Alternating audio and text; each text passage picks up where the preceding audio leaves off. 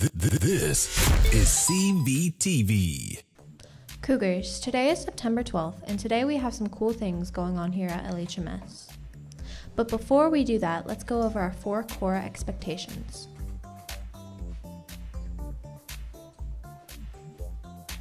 Respectful, responsible, active learner, and problem solver.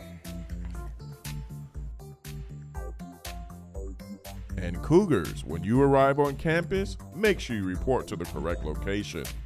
Sixth graders, sixth grade building. Seventh graders, make sure you report to the blacktop.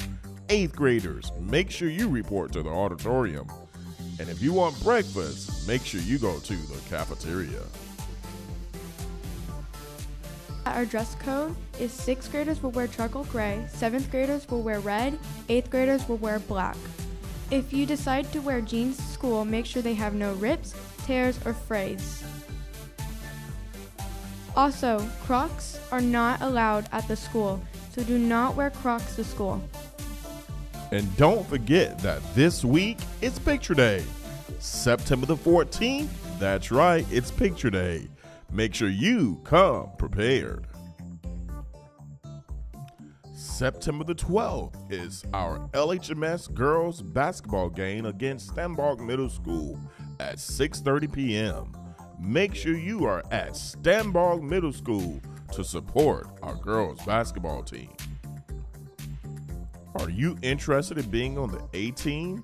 Well, there's an informational meeting in Miss Youngblood's room on next Tuesday, September the 13th at 8:30 a.m. before school. Teachers, this question is for you. Who was the first man on the moon? A, B, or C? Well, those are all the announcements we have for today. Tune in next time on Wednesday, September the 14th. Have a Cougarific day.